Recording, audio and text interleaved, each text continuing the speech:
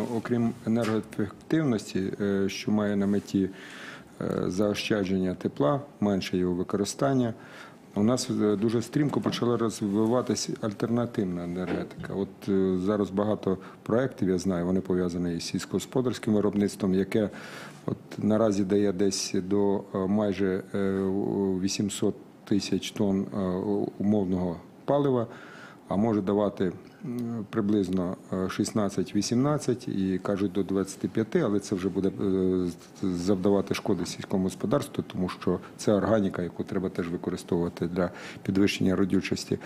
Але це дуже стрімко розвивається. Я знаю, що зараз е, величезна кількість людей вони переходять на інші е, види палива. І от ще рік тому було багато в Україні побудовано заводи по виробництву е, гранул із е, соломи. Е, Їм важко було збути. Зараз немає де її взяти. Просто дуже багато, великий попит на це. Інші види твердого палива. Дуже багато підприємств е, будують е, спеціальні е, біогазові установки, утилізують разом з цим гній, який є як відходи виробництва, при цьому отримують біогаз, використовують його як паливо або використовують як джерело отримання електроенергії. Це дуже дуже поширено. В цьому випадку є спеціальна програма уряду, яка передбачає пільги по ввезенню обладнання, якщо в нас воно не виробляється для цих цілей.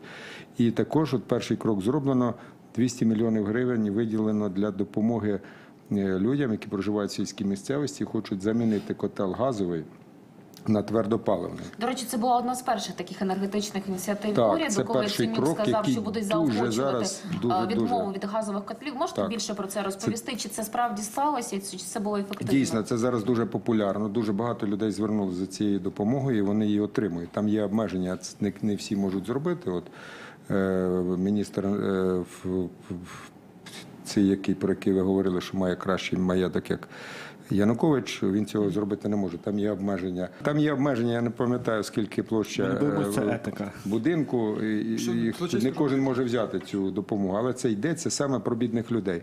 І ще дуже важливо, що ми повинні з- обов'язково забезпечувати цільову адресну допомогу тим, хто не може купити оці бідні, про які ви говорили. Є поширена практика. Про це задекларовано зараз в коаліційній угоді, що ми перейдемо на цільову адресну дотацію.